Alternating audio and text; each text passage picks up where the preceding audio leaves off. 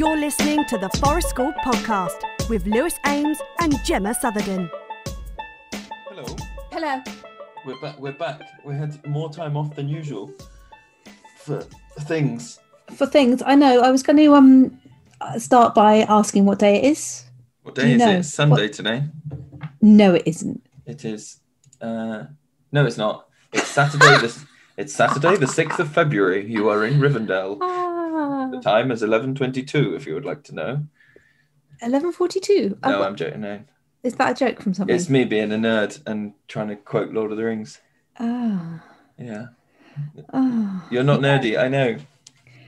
What? I mean, I would never say that. Um, uh, yeah, it's been one of those weeks.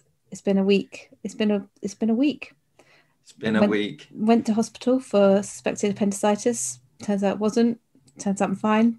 That was exciting. You know, um, a friend said to me today, um, "You, uh, I heard about your cry for help." he said it with such a straight face. I was like, um, "Yeah," and he's like, "You know, you can just say if you need time off, just say." And I like reflected back on it, and I was like, "Hmm."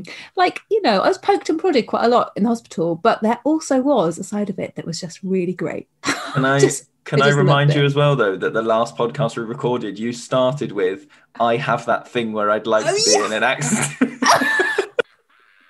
Oh my god! Do you think I should like say sorry to the NHS? Do you think I should write a letter?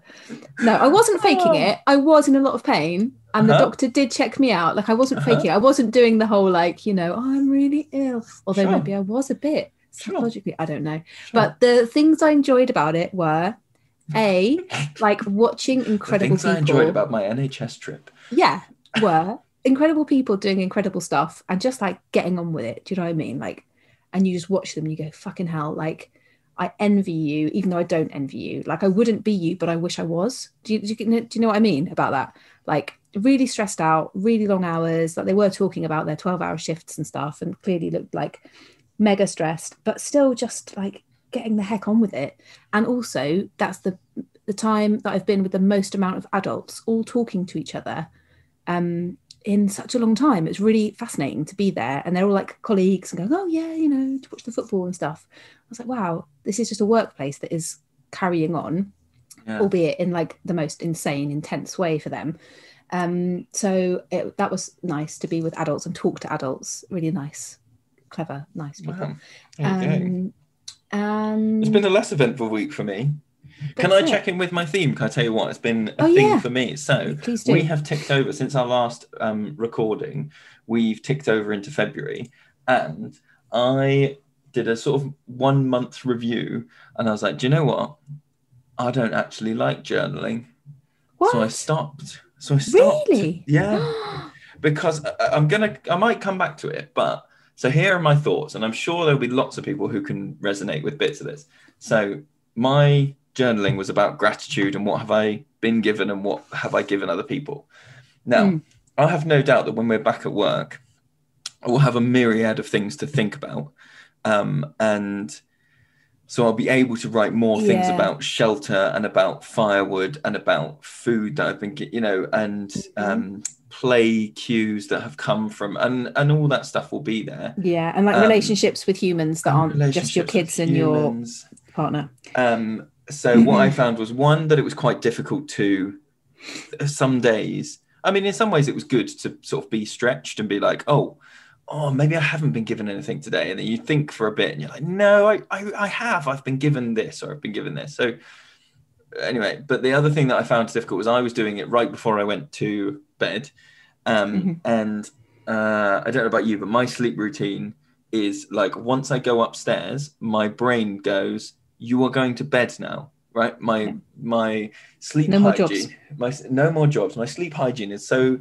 like uh, I might watch one video on my iPad or something, but it's not a time where like I have a chat and then we do something else and I think about this. You know, it's like you need to go to sleep, and it was basically the book was sat on my bedside table like a looming job. Like you can't go to Mm. sleep yet, and also Mm. doing it at the end of the day, I found quite difficult because if I got to the end of the day and I was like, oh, I was given, say it was a day when I went to the woods and I was like, oh, I was given shelter and I was given firewood and I was given um, paths to walk on and I was given uh, that little visit from a squirrel. And then, the, and then I was like, and what have I given other people? Oh, fuck, oh, I don't know. And it's Yeah. too late to change it then.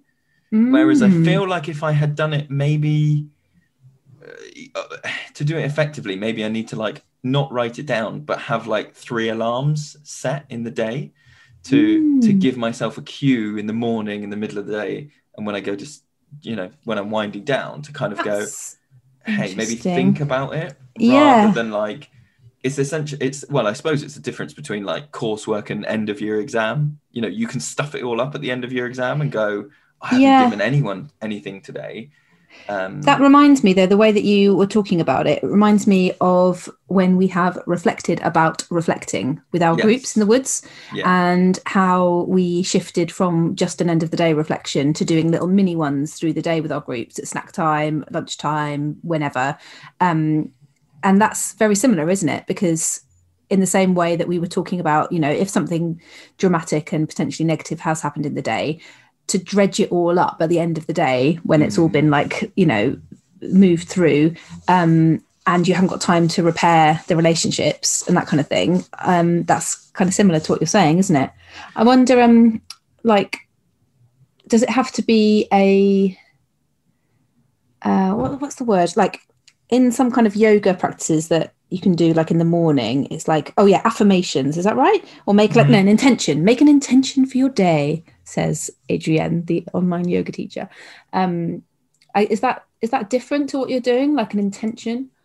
I guess it would more be like a plan of thinking, oh, one of the gifts I will give today might be, and then it Mm. might make, make me think of like a more elaborate bit of cooking, or it might make me, you know, it would Yeah. kind of inform it. Um, which I think I'm going to go. That that will be my kind of like. What I don't want to do is just be like, uh, oh, I said I would write my journal at, at the end of the day, and so I must do that, even if it's not working, even if I don't like it. You know, it's like, Yeah. okay, this isn't just take a bit off and Yeah. adapt it. How is your old worldy knowledge? How is my old worldy knowledge? Um, oh, now you're asking. I feel like I- you and I talked a lot about witches this week. Yes, I have been. Um, well, have I talked on the podcast already about the, um, or told you about the amazing uh, medicine spoon project? No, Have I told you me, about that? me. Um, I'll have to look up the lady's name, um, but she, I think, is an artist, and she is running the Medicine Spoon project. I'm going to look it up as we're talking. It is the Medicine Spoon Memorial Project, um, and you can find out more at madeonthemoors.co.uk. And um, this woman, I think she's called Karen Thompson. She is finding all of the names of women who were persecuted as witches, and she started off with names of women in Scotland. And um, she, on a piece of white fabric, draws the outline of a spoon, um, like a medicine spoon. The idea being that these women who were persecuted for witchcraft actually were herbalists were people were like early you know um, community doctors almost or nurses midwives who knew about like the free medicine that was available and therefore like the only medicine that was available for poor people at the time. Um, and then and she'll send you one of these blank pieces of fabric with a spoon on it and a name of a woman. And she sends it out and i think you pay a fiver to cover postage and then you decorate it and embellish it however you like and you can embroider the woman's name on it or write it as a kind of memorial to that woman and then send it back and then she's making this amazing kind of artwork with these um, memorial spoons. And there are just hundreds and hundreds um, and that's just in scotland. She's going to do the um, british one the english ones um, next. So i'm kind of really keen to get involved but something just struck me quite recently about how at Halloween we like dress up in pointy hats and you know our kids are like oh I'm a witch whatever Mm. and actually that's kind of a bit like like I'm not saying it's the same as blackface but it is like just re- like a really weird thing to do when many people were killed in the most hideous way and persecuted um, for no reason other than yeah they were the person who was a bit odd who lived at the end of the road or They were challenging the patriarchy. exactly When um, will you learn? When will you learn? No, I'm joking. God. So um yeah. So I'm really yeah interested in that. Um, and you've been listening to a podcast about it, is that right? I listened to yeah the radio for uh, "You're Dead to Me" podcast I've recently Yeah. found and went back through, um, and that was yeah was really really good. Yeah. Um, and yeah, I said I had kind of had interest. I have interesting thoughts. I find myself feeling defensive whenever anyone talks about like a historical patriarchy, and I'm not sure why I should feel defensive. And I just sort of check that and that feeling and go like, oh, that's interesting, isn't it? That I Mm, feel that, and uh, you know that I, in some way, feel guilty, not not responsible, but I feel like Mhm. challenge. I don't know. It's a, it's Yeah. an interesting thing to um yeah. uh to, yeah to experience. Find out about CPD courses at childrenoftheforest.com. Check out the podcast links for more details. But kind Yeah. of on the subject of challenging things, we said we would talk about a blog this week. A very, uh, um, I would say when I say the word blog, what I imagine is like, hey guys, here's my perfect coffee recipe of how to make a mug cake. But this is a serious blog. This is um, Do you mean like one of those um, blogs with recipes where you Google it and it's one of the things that comes up and you're like, okay, great, this looks like a easy three ingredient cookie and then you have to scroll through the whole person's like life story and the story of their dog and loads of photos and loads of clickbait before you actually get to the recipe which is like somewhere down the bottom and you're like have i got Yeah. this wrong do you mean like that yeah Yeah, I would actually. Do you It's know what I? If there's not a, because some of them now have a button at the top that says jump to recipe, and if it doesn't have that, I'm like, I'm not reading it. I'm not No. scrolling. No. I'm not doing. I don't want to know about your, you know, London-based life where you went for a walk and you saw some grass and that was lovely. Uh, Like, get on with it. all the ones i find are american Oh, really? yeah Yeah, but Um, American. I mean, okay, we've got a lot of American listeners. I'm gonna make a massive sweeping statement now. Do you get frustrated when you look? we're going on a tangent already. You look at a blog, a, a blog recipe, and it's like how to make like delicious. Um, particularly you and I will look up a lot of obviously vegan recipes. Yeah. So you look up like delicious um, pizza dough, three ingredients. And I'm like, okay, cool. And you look it up. Um, ingredient number one: pre-made pizza dough from your local, th- like, or it's like special vegan cake. Step one: get some yellow box cake mix. I'm like, that's not. You've half the thing has been made. Your your ingredients can't be uh, like. You and it's be from a thing that i can't get in this country Yeah, well, i mean yellow box cake mix sounds good I, uh, it sounds great. It sounds like American cooking is like pour a box in, add some oil or some water, and then like in Back to the Future, you just ping and your food is done. I don't know how cooking works over there. Here we have to grind our own flour. We have to dig in the earth for cat. No, we don't. Um, Apart from we make instant cake mix with lemonade over the campfire, that's pretty ping and your food's ready. is pretty ping. I was working. I was having a test this afternoon, uh, and I put a picture on our social media of a cast iron pan vegan brownie, like cook in the pan. Oh. And so I made it Oh. in my little like um I've got like a four inch cast iron pan, so I made like a personal um brownie thing, but I'm up for scaling it up and trying this. was thing. it good? Oh, it was incredible. It was, Was it on the incredible. hob? Like on, I mean, on the campfire? What? So Like, you do it so you do it over the coals and you just put a lid on it, like on a cast iron pan, but um I did it on the hob at home. But yeah, um Mm. If you're if you're listening, go and look at our social media, go and look at this brownie. Like it was incredible. It was as good as it looked. Um we were actually going to talk about a serious Amazing. blog. Do you think Um, we're ever going to get around to talking? We've got lots to say about it. Okay, it's really important. It is important. It's called "What Best Explains Children's Connection with Nature," and it's by Miles Richardson, who I'm ashamed to say I've only just come across. It turns out he's just like some kind of you know guru on this whole subject. And um, I did email him to go. Can you please, can, uh, Mr. Richardson, please can you come on, on our podcast and talk about it? And he was like. "It looks lovely, oh, but no." understandably very busy, I'm sure. Of course, he was like, I get about 20 of these requests every day. And I was like, oh, oh pants. Okay. God damn you for being so important. Um, and other people knowing who you are. That's annoying. Um, so yeah, he's doing amazing stuff. And he works um, at the University of Derby and also has his own blog, which is uh, called something else. Uh, findingnature.org.uk. And he's on Twitter at Finding Nature. Um, but yeah, so the the re- the report that he was involved in compiling with the University of Derby um, is not open access, annoyingly. So you can't read the full report unless you've got access to, hmm, I want to say Sage, but uh, no, Libut, blah, blah, blah. Um, but you can read this blog where he sort of skims over the main findings, doesn't he? Yeah, it's like slightly more than you would get um, in an abstract. Um, Yeah. But yeah, very good for obviously tempting you in to go. Oh, that looks good. Maybe I'll I'll go and look at it. Um, it, some things very interesting. Some things a little bit challenging to what we do. Some things um, that kind of confirm what we know as practitioners. Um, I'm just gonna look at my because I made notes, guys. Guys, I made notes for Better than me this week. Um, so the first thing that I made note of was like the surprising thing- thing was that nature, like number of nature visits, were not correlated to nature Mm. connectedness.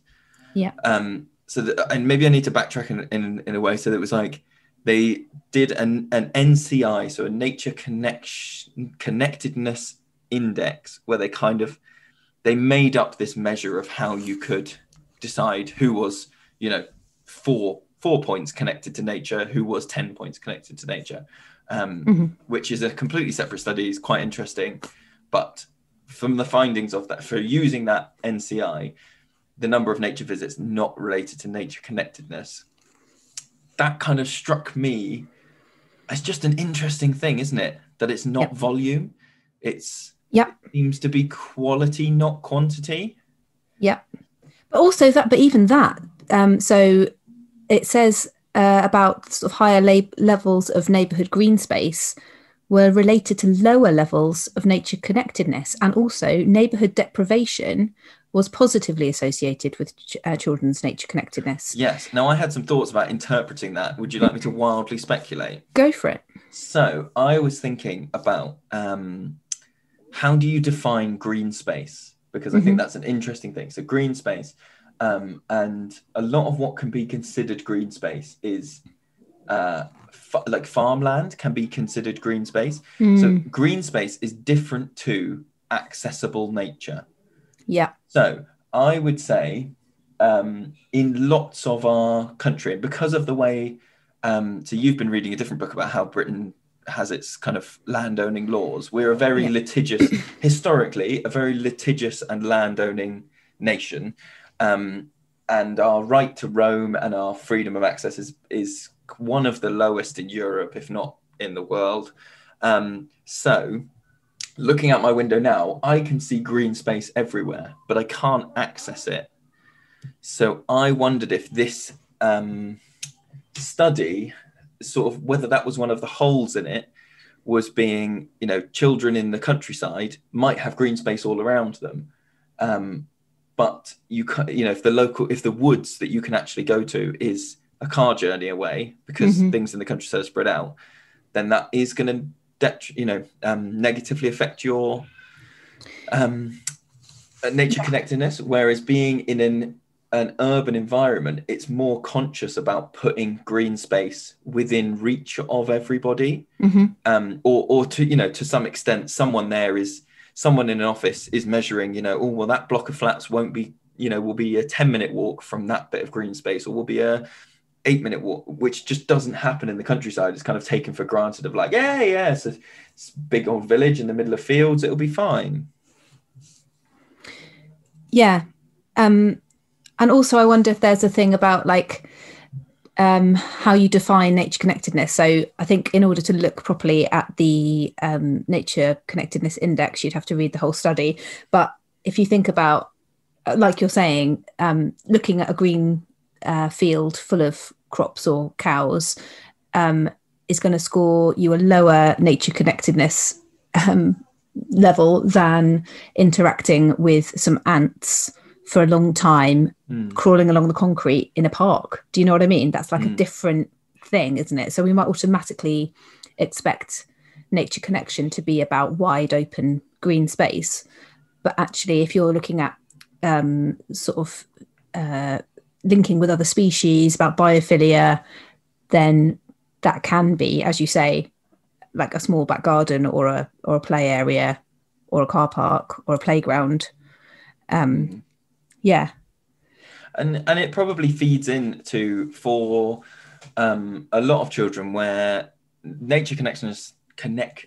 Oh, it's such a hard word to say for me. Nature connectedness is probably lower for uh, the the generation of children coming through school now than it was for children in say the 50s right? We're, that's Oh, yeah. broad, broadly speaking yeah, we know this from studies about how far did children roam. We know this from you know how much unsupervised time do children have etc etc so if you take that you now have a generation of children who have a lower nature connectedness Mhm. um, than other generations have had before them is it a case of meeting them where they are um, in terms of uh, connections is is better suited to an environment where there are one or two types of trees and one or two types of shrubs because it's been intentionally put that way rather than an overwhelming you know nothing you know sometimes i see children come to our sessions who can't name any trees. They don't know any tree names. They don't know any Mm. plant names. And you get them in in the woods and it's like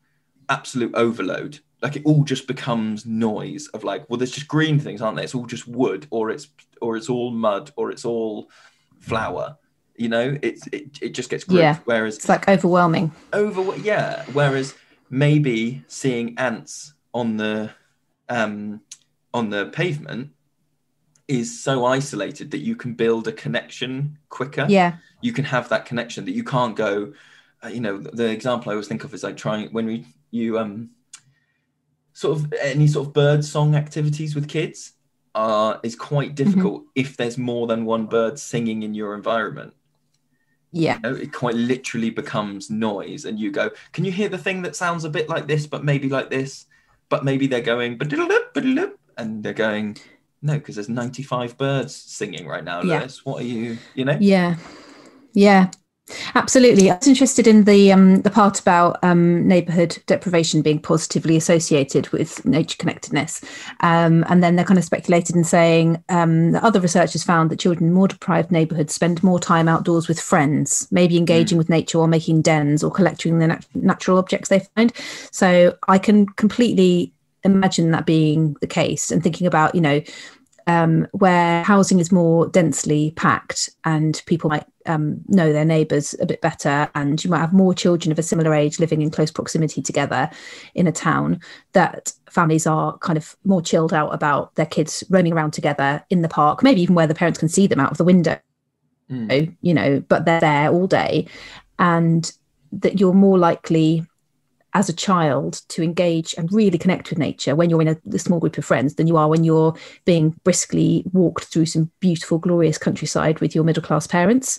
Do you know what I mean? yeah absolutely Um, and that that's the real nature connection as opposed to the the thing that we might imagine about just like oh nature connection is like visiting national trust properties actually is it really because if you think about the way that children develop and learn through play they don't get much time to play freely and with other children that aren't in their family on your average middle class family walk. Um, and so you could argue that actually forest school does support that kind of finding in terms of it being a bunch of kids in one place for a longer period of time where they really properly can engage. Um, and that's the kind of route in to nature connection rather than a more superficial uh, level yeah um, there was a sorry go on No, I was going to say uh, that makes me kind of wonder whether it's it's something to do with um, how nature is presented. So you might have children who are um, at particularly here, say private schools, might go on more nature connected, nature themed activities. You know, more walks, more um, school trips out, things like that. But if their experience is like a didactic approach to nature, you know, you you should Yeah. appreciate this. Um, d- don't do that because you know you, you need to you need to focus on the leaf rubbing. You need to do you know get your head down do exactly yeah. We're doing it- this study right now yeah. Yeah it Yeah. kind of kills that awe and wonder whereas experiencing it naturally with naturally um, experiencing like with your peers and sort of discovering things as your interest comes on and doing that sort of child-led nature connection you know that's Mm. an interesting thing that they haven't talked about is whether the nature connection is child-led or didactic which i think could have a massive impact one way or the other Support the podcast today by becoming a Patreon member at childrenoftheforest.com. Check out the podcast links for more details. or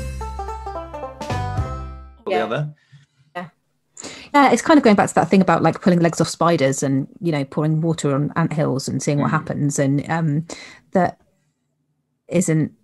You know, you almost need the as a child, you need the freedom to be able to experiment with nature in that way in order to connect with it, in order to understand it. You know, pull apart, go, oh God, I now have emotions about that, and now I care about it.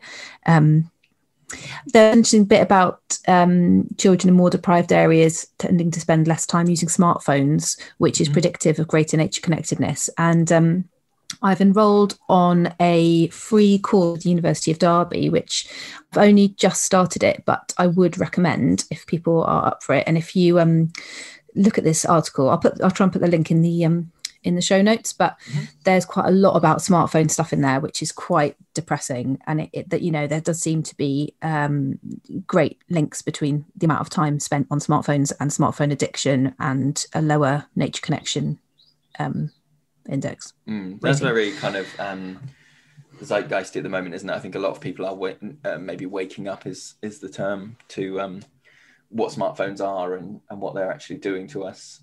Uh, Yeah. In more than just the short term. Yeah. Um, it, there's a paragraph here that I was thinking about, um, which is so they found that one of the greatest indicators for nature connectedness in children um, was time spent or proximity to a nature connected adult or na- an adult with high nature connection, which is interesting from two points. One, that they possibly, again, it's behind a paywall and we, I don't know the ins and outs of the study. So it would have been interesting to see if they had done this. Um, a, I don't know what you would call it, like a, um, some sort of check to see like is it just a nature connected adult or is it a nature connected peer does a nature connected peer have the same impact on you as a nature connected adult Well, from the study, it says it's quite specific, and it says the the most important um, predictor of children's nature connectedness is having an adult with high nature connectedness in the same household. Mm. Is their finding from this particular study? Hmm. Um, so yeah, it doesn't really go into detail about whether that's a peer. It's more like in the same but that's, that's household. i think that's what i mean is is they obviously can test for how nature connected are the adults in your household whether they asked the children you know oh how nature connected do you think your friends are or even took a group of children you know Mm. i don't know even whether they um tested for that is that the right way surveyed for that yeah um, screened. screened for that. Yeah. There we go. Um, but anyway, so if we take that as a kind of a, a standing thing, we have found that, or this study has found that uh, adults with a higher nature connection uh, lead to more nature connected children. That makes me wonder then. Um, and it kind of brings up a thing that I was thinking a lot about um, when we hit our first lockdown in um, last year, March last year. Jesus, what a time! It's a year gone. Um, we there were lots of resources going out because everybody was worried about the children losing sort of outdoor learning, and lots of people making resources for homeschooling that were like, take your children out and notice this, or take your Yeah. children out and do this study. Um, and one of the things that struck me when I was watching those things is like, you know, we've talked before about you have like a teaching persona, you have like a, a leader persona that you go, I'm not 100% honest. I, I have some sort of, um, a bit of this is acting. You know what I mean? Yeah, yeah. um, but whether you can do that with nature connection because nature is so awe and wonder and um, so broad that if you're genuinely not interested in it can you take children out and do a bug hunt if you if the only things you know are the three facts about ladybirds that are on this printout you've got and you have no further interest in it, in it as an adult can you actually lead that Um, Yeah, well, that's kind of what the study's saying in terms of um, so like two things. One that I don't know if it's in the study or on the course that I've started. Um, it's kind of arguing that the um, nature, the level of nature connectedness, um, in some places I think is beginning to be, but should be worldwide on the kind of index of well-being and happiness. They think it's so fundamental to us as humans to being happy that they think it's got to be added to the, you know, the social, um, economic, all of those kind of factors Yes, in terms yes, of assessing um, well-being and having a good life. Um, so there's that. And if we become more aware of that, then we as parents, as adults that work with young people in whatever context, um, kind of see the priority in that. So, in the same way as if you were kind of being a good and responsible parent or um, youth worker or whatever, you wouldn't go, Oh, I find maths really hideous. I hate maths. Therefore, I'm not going to ever talk about maths with this young person ever. You kind of put a brave face on it if you hate maths and go, Oh, yeah, it's really interesting. Okay, cool. Yeah, let's find out about this together, you know, and don't. Um, uh, you know, try to terrify the child with your own hideous story of your scary maths teacher.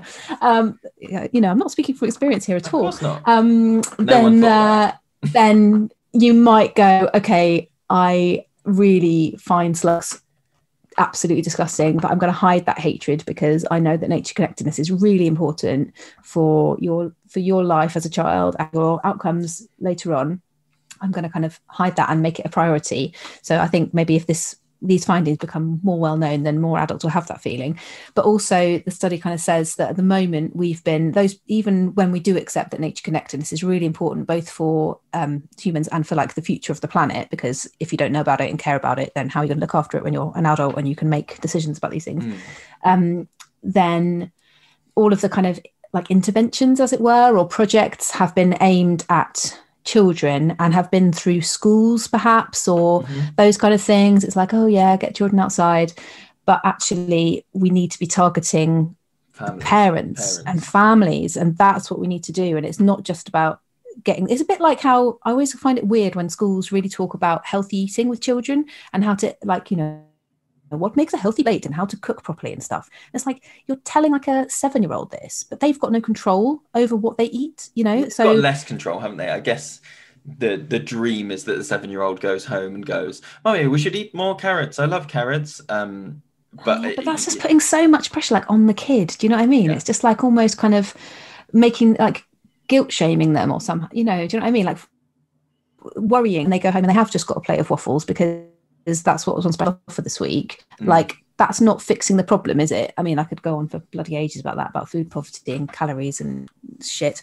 yeah. um but that's maybe another another topic but um but yeah i found that really that's a kind of total total shift in the way of looking at it isn't it in terms of and it really made me remember times with our parent and toddler groups or family groups that we've done um, and those moments of nature connectedness with the adults and all those things which you talked about on the podcast before about the adults kind of going oh you know this is actually like really eye-opening because i joined this group for my child but actually i'm getting loads of that out of it or am I supposed to join in? Says the adult. It's like, of course you are. Like, this isn't just for the children, this is for you as well. And now we've kind of got this evidence to sort of back that up Yeah. um, and go, this is actually really critically important. And I was just remembering, um, again, this study brought up that memory of, um, I don't know if you remember, there was a time, there was one session that we did with some adults and toddlers and it was kind of like a bug hunt, but it was more like mindfulness. We basically got them to, we gave them magnifying glasses. We said, just like sit on the floor. I think it was summer, the weather was all right anyway. Hmm. And just from where you are, take a trowel and a magnifying glass and just sit down and just like stare at the ground and maybe move a bit of soil around, move a bit of a leaf around, move a twig and just have a look.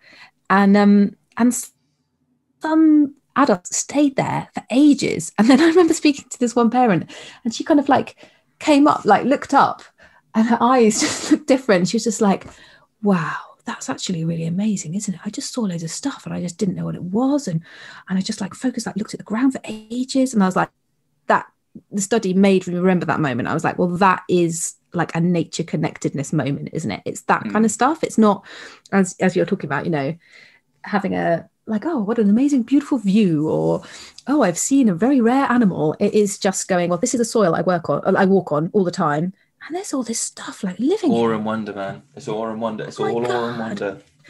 It It's makes me some, like, think about. Um, we've had uh, uh, a couple of parents at, at sort of parent toddler groups or at family sessions who have uh, more or less explicitly said um, the kids are already great outside this is for me i'm here because i don't want to Mhm. pass on that anxiety or um, and uh, i can think you know we've got uh, some parents who have come and are now coming with their second child um, because they were just kind of like, well, this is for me. You know, it started being like, well, let's get the kid involved, and now it's for me, and now I'm, you know, they sometimes sort of go, hey, did you see me doing that? And it's like, like they're, you know, a kid again going, did Lewis, did you see me doing that? Yeah. I never would have done that before. Isn't that amazing? Look yeah at what you know, just so self motivated and and intrinsically motivated. I guess that's the thing. Is Mm. um I, I I wonder whether those i remember as a child going around lots of um like my parents were like I think they might have been national trust members or or, or similar. And um i don't know if you did this you go around like stately homes and they would give you like a, a, a cork clipboard with a sheet on it. And it was like you know questions like how many of the statues are wearing crowns? How many of the doors have um, lion door knockers? And as you Mhm. go it's sort of so that the parents can have a walk. And as a kid you've got something to be occupied with. And now yeah. you know we do sort of similar things with like geocaching um, or that but I, I wonder do those things in any way connect you to nature if Mm. because the reward f- uh, from memory was always like a couple of sweets at the end or like Yeah. a, a little there was a, an external reward so when you're going around you're not actually engaging with the environment you're just going i've got to fill this all out because otherwise and then you get to the end and the lady behind the um, gift shop till would just kind of go well you've got most of them. That's very good and would give you it anyway. And that's our um, family every time. Yeah.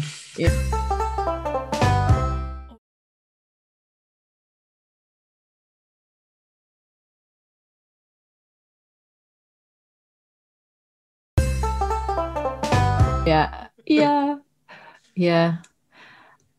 I know. I'm still looking at this bit of the study that's like the counterintuitive findings about the children from higher income households and low income uh, lower income households because the higher income families spend more time visiting nature but there's no Mm. relationship found between nature visits and nature connectedness it's just so interesting well i had a thought about that which is very broad would you like to hear my very broad thought mm, yes. So I wonder, particularly in the UK, we have more of a. Um, we talk a lot about like social mobility, but we've still got a class system. Let's be honest. Mm. Um, Mm. And I think there would have been a thing where the a bit like we were. ta- so it kind of links to what we were talking earlier about um, people being accused of witchcraft would have been very strong in like herb lore because they Mhm. would have been um, poorer people. They would have needed to get medicine from the the woods, from the shared land. Um, Yeah. And I wonder if there's something to do with if you are connected in a way where I'm going to try and phrase this very intentionally. If if raspberries on the side of the or uh, blackberries from a bit of a hedge are a significant source of food or are like a significant joy in your life because you're not a family that can afford to buy blackberries from the supermarket every week Mm. So blackberries being Mm. found is a genuine joy um, that Mm. will impact how you relate to those things bit like the marshmallow test if Mm. you're a child who knows that there's loads of Mm. marshmallows at home can do whatever else then you're not Yeah. as tempted by that marshmallow that's kind of what that study found you know more well-off children yeah yeah can resist that thing yeah so similarly with nature connection, um, and you know that thing about oh okay, I'm going on lots of tangents, but my brain is firing quite quickly.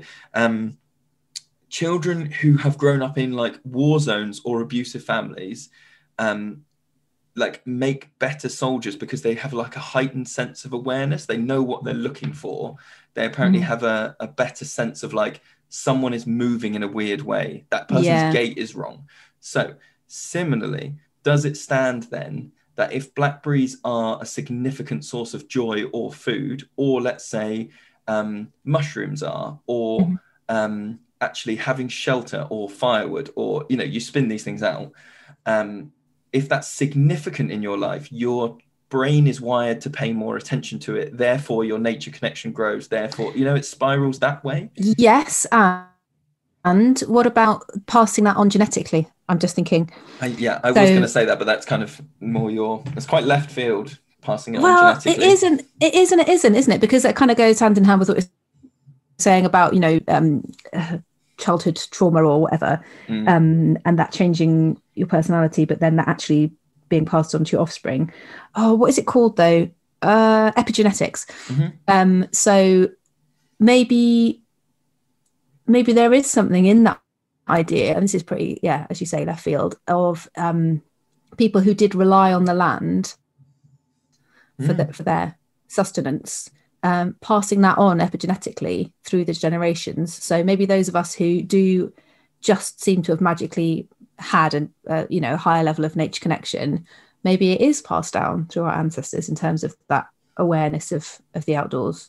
And I think that's I, I think it's important to say that like when you're talking about this epigenetic stuff, that that's not to say that this stuff can't be learned or it can't be. Mm, You know, there's no. We're not saying of course. if your family are from. Uh, you know, if you can go on, who do you think you are, and you can trace back a very posh family line, you're ne- you're never going to be connected. Um, it's just about saying, possibly people people's brains are naturally wired in different ways, and Mm, coming being in a lower social class therefore more reliant on common land on uh, hedgerow foraging on um, you know communal firewood those those sorts of things stay with you mm. Yeah, there's a bit in this blog that talks about whether um, nature connected parents do different things with their families when they are at a green space and it's and they kind of predict that they do given that that's the biggest predictor of children's nature of children's nature connection Mhm. so what kind of things are nature connected adults doing in a green space with young people that instills that nature connection within the child. And you kind of think about that as a forest school leader don't you in terms of you're like a you are a model. You're modeling the way you react to things in the environment all the Mm. time. And you know and you don't you don't have to like fake that. You just have it. Otherwise you wouldn't be doing the job you're doing. But that's the kind of thing that maybe is rubbing off on the child. It's the way you react when you see some slime mold or whatever. And that maybe that is what um, nature connected parents do. But also they could be doing things like you described like foraging. So rather than we're just on a walk and we'll just walk and we'll we've got some really nice chocolatey snack bars in our bag which we're going to eat we're going to not through necessarily need but oh we can eat these let's eat them um, and all those kinds of things or having little stories to tell about the things that you're seeing that engage the children all the kind of stuff that you might do if you're a good forest school leader. Do you Um, think sorry to cut across you do you do you think that um forest school in some way mimics being a historically lower class? In that let me back it up in that Mm. um, the consequence for letting the wood get wet is that we genuinely can't make a fire. We can't, Mm. for, for, for the most part, if you want hot chocolate at Forest School, you you need you know we need to get a fire going. We've talked before about there being sort of natural consequences at for a natural chains of events that you Mhm. you, you can't fake, and that's one of the things that um it's just sort of crystallizing for me now that when I do see um, some settings that are maybe linked, like a, an earlier setting that might be an indoor outdoor one, Mhm. and the fire doesn't quite work. So they just go in and they use the staff kitchen and they boil some water in the kettle and then they bring it out. And on one hand, you can go, you're just meeting the children's needs, you're just getting those things. But the other way, are you losing something in terms of nature connection because you're not getting a cause and response? Mm. and where the forest school kind of you know i'm thinking about all the children that come and, and the children that come to our groups come from a, a lot of different um, economic backgrounds. Um, but at forest school nobody we're, we're all in the same boat. When it rains it rains on everybody. When it is windy and cold it's windy and cold for everybody. Do you know? Yeah. Yeah. So, previous podcast guest Andy Smith is uh, on the 15th of March is running uh, a virtual event called Supporting Autistic People the Right Way um, by, with his company Spectrum Gaming. Um, it looks to be a really good event. Loads of speakers. Michael James is speaking, who was on, who's the author of Forest School and Autism. Um, lots of other speakers in there, um, and kind of really bringing in that uh, saying of nothing about us without us, which is a way of saying if you want to um, improve your facilities or your sessions for um, autistic people, then you need to be listening to autistic people. And one of the things I think is really good Yeah. about this event is that Andy has uh, involved some young um, autistic people to have their voice involved in the conversation and to have their voice kind of come through. Um, I'm going to be going, I'm going to be attending, um, and I think it would just be a really good event for anybody um, who wants to involve the autistic community more in their sessions. So we will put the links in our show notes. Um, so just again, the event is supporting autistic people in the right way. It's by Spectrum Gaming. It's on the 15th of March. And all of the money generated from the ticket goes directly to supporting autistic young people. It does. Which is also amazing. Yeah. Yeah. Yes, it definitely harkens back to the past, doesn't it? There's definitely something really like socially historical about Forest School, I Hmm. think. Yeah. Um, do you would you say that your parents were very nature connected? Uh, no, but I think my grandparents, particularly my on my dad's side, um, were they were very, um, you know, they used to go. We used to go ferreting and put ferrets down rabbit holes and put, you know, we had to put all the nets on the holes. Um, do you know about this? Yeah. Uh, yeah. People that- um, sort of vaguely, not okay, really. so for, for people that don't on, know, this, uh, the practice where you you work out where a rabbit warren is, and you put sort of nets over all the entrances that you can see, uh, except for one, and then you put a ferret down that one hole, and then you cover that one with a net, and the ferret sort of runs around, freaks the rabbits out. Rabbits go hell for leather, and they basically run into a net at the opening, and then rabbit pie. Um, so we, you know, we would do stuff like that. so you go- used to do that. I did with it your one- parents? I did it once. I think once or twice. It wasn't uh, like that's what we do every week.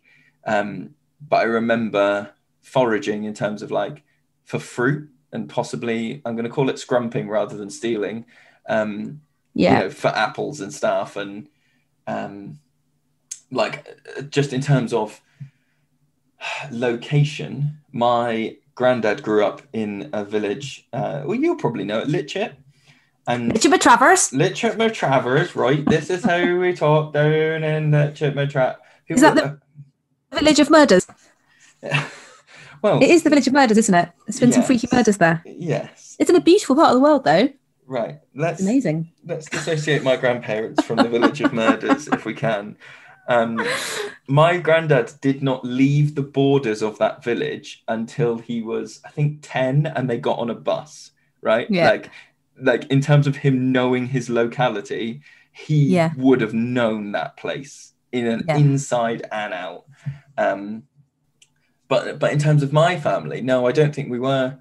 I would say we were more of a Center Parcs, you know, that kind of nature. Like we'll go for a lovely bike ride. That's interesting, isn't it? through the thing. So you think know. it skipped a generation? I think I think it got slightly sanitized with my parents because they did economically better than their parents did, and so Mm. that was the thing. And it was the '90s, man. What were we doing in the '90s? Just buying loads of stuff. Buying shit. And Yeah. What about you? Do you think your games. family? I mean, you've talked about your um. I'm going to call them excursions in the woods. Um, yes, very, very. If you're looking at a kind of, you know, on a graph of, you know, averageness to very high, Mm. then, um, and I've only really thought about this since reading this study actually, and thinking about the kind of real nature connectedness rather than time out time outdoors or going to fancy places in different locations and stuff. Yeah. they spent they both spent every day of their childhood that they could outdoors. My mum basically lived in the garden for a while um, and yeah my dad grew up next door to a farm. We like rented a house so they weren't farmers but they lived on this farm. Right. and um and he had a very nature connected adult who kind of like mentored him and was really into birds so not only did he kind of try and pass that on to us but he told us all the stories about his own childhood and about getting up at dawn and doing dawn chorus thing and you know Yeah. birding with this bloke. Um, and yeah, my mum just knows loads about wildflowers and plants and, and butterflies. And she doesn't necessarily do that much foraging or anything. She's like, it's not very trendy, her nature connection, if you know what I mean. Um, Right.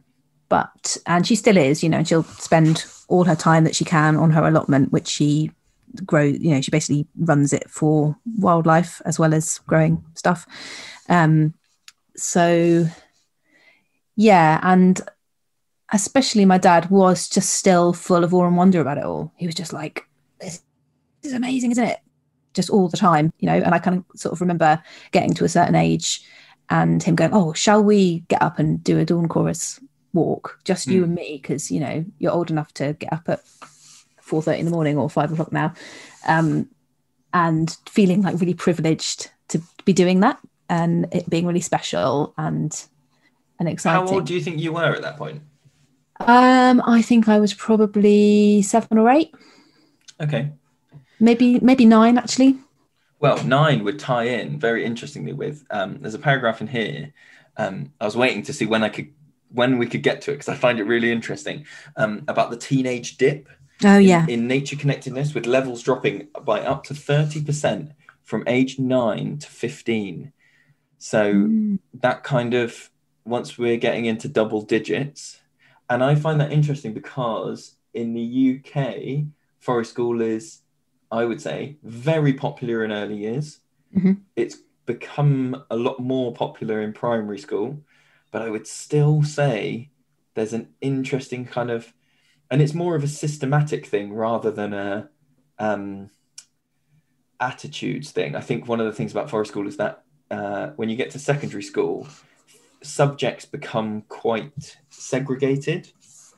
Whereas Mhm. forest school being holistic in nature means that it can't be in lieu of geography and it can't Yeah. be in lieu of science and it can't be in lieu of, so you've got to find somewhere to fit it into that yeah which is usually a kind of like intervention scheme of some kind isn't it it's for the kids who are are struggling academically or emotionally or behaviorally and so we'll whip you out of modern foreign languages and put you in a nurture group and we'll do Mm. that outdoors that tends Yeah. to be what i've experienced Yeah. with forest school and secondary but it, but it's kind of interesting, isn't it, to, to think that if we're following this research, then either we are as a as a kind of society n- nailing nature connection in early years and primary education, um, or y- you could look at it and go, young children are already nature connected. They they Mm. already find um, bugs and wildlife interesting, and they already love to climb trees. We just sort of have to let them do it. What actually needs some active work and some push, you know, some real kind of um, Mm. energy behind is this kind of pre-teen to teenage thing. yeah Uh, it's sort of uh, where we're going. Okay, well, that's the point where it all drops off. So that's where the the groups need to to be focused. You know.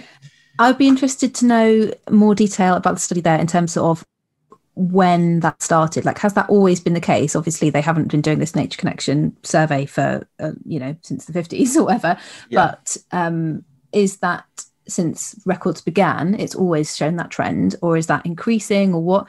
Because that would correlate with smartphone use, wouldn't it? Definitely Mm. um, which we know lowers nature, nature connection. Also, in terms of, of the way that we're kind of wired as humans, you might sort of argue that at that time of life, you are looking instead of understanding the kind of environment and the world around you, you're kind of honing in on like social relationships, and that's your kind of learning focus. not Yeah. not intentionally but just that's what your driv that's your driver is like okay what what tribe do i belong in? Who are my real friends? What what does friendship mean? Um what do relationships mean? All those kind of things. And those kind of things that our brains might be geared towards are more supported with smartphone use aren't they that is the absolute like uh I'm kind of I'm, I'm I'm putting my hands together in a kind of interlocked way. Um, the smartphones and that drive for social interaction and Yeah. belonging.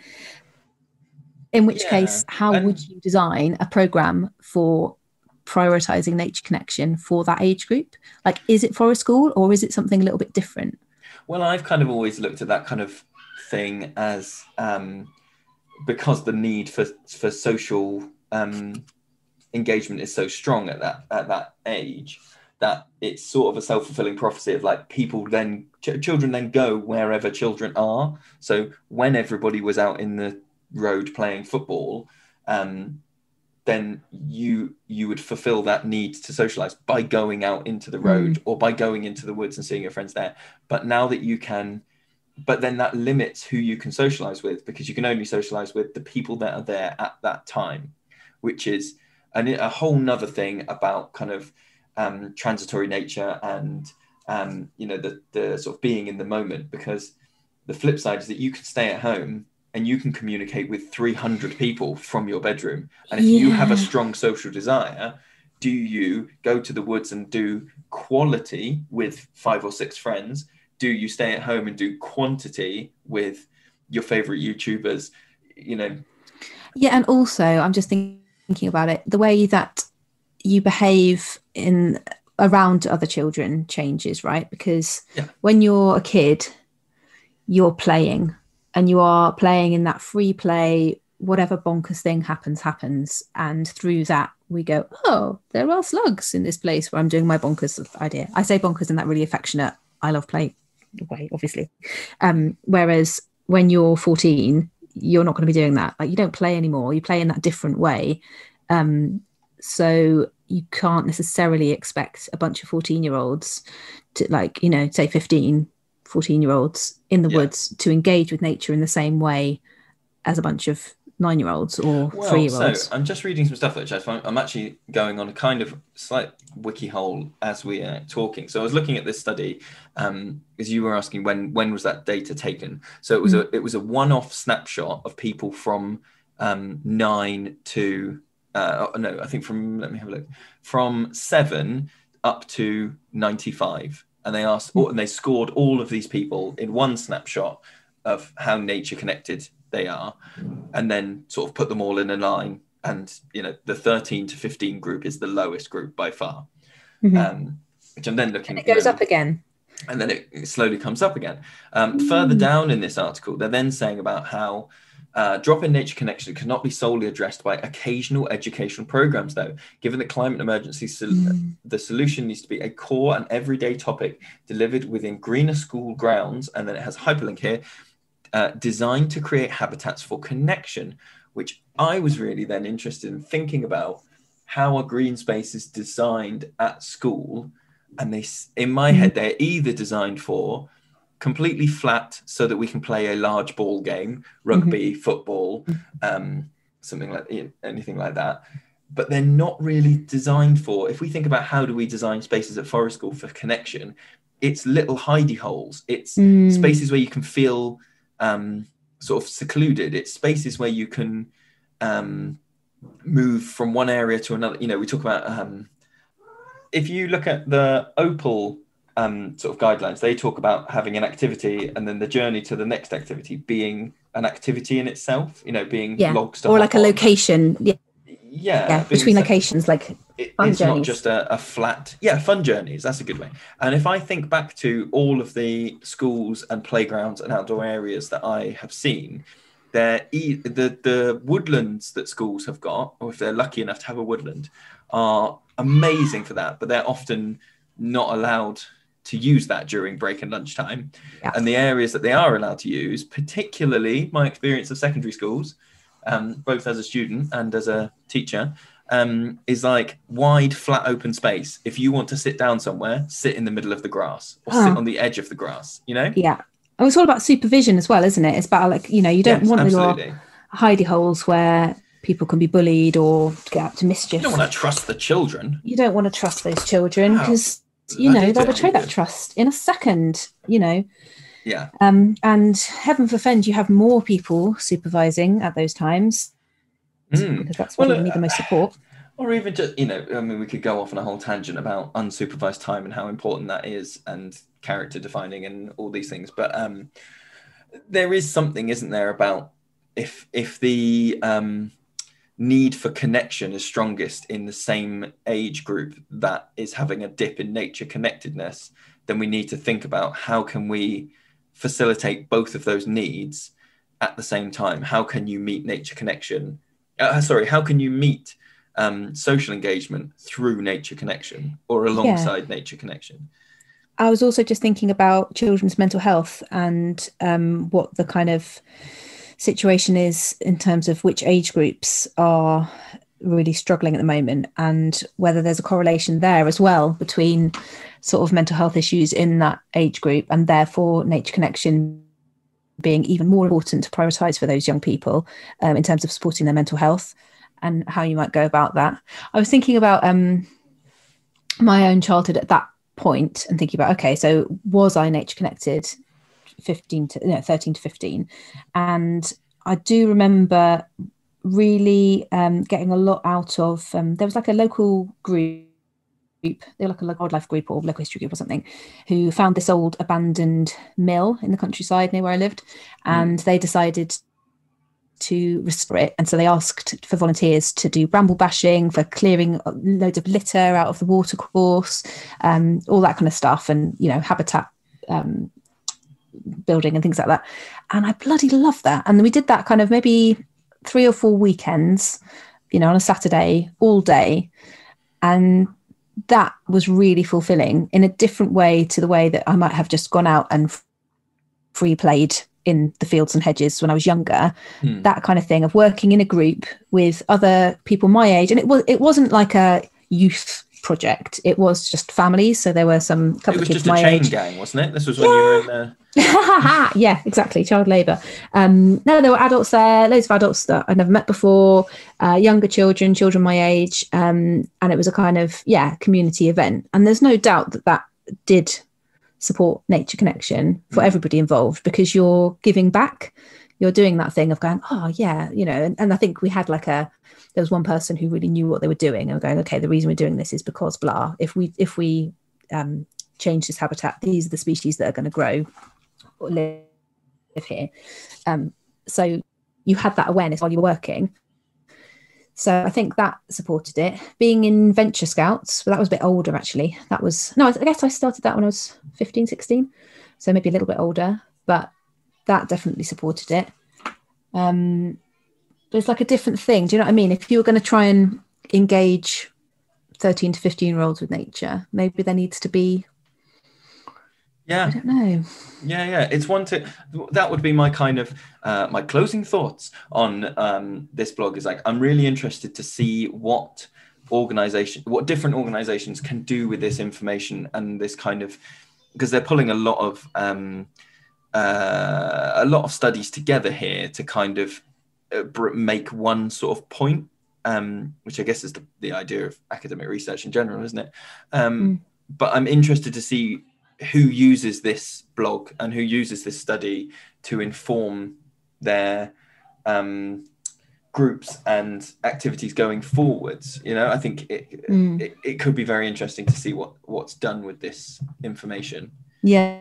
Yeah. In terms of forest school, it kind of has made me reevaluate, as I said, having those memories of the moments with our um, adult and toddler groups, and um, and reevaluate the importance of those Mm. because I think probably on the one hand, for a lot of forest school folk, that might be the kind of thing you start with, perhaps. Yeah. Um, but it also also definitely one of the things that makes the least money.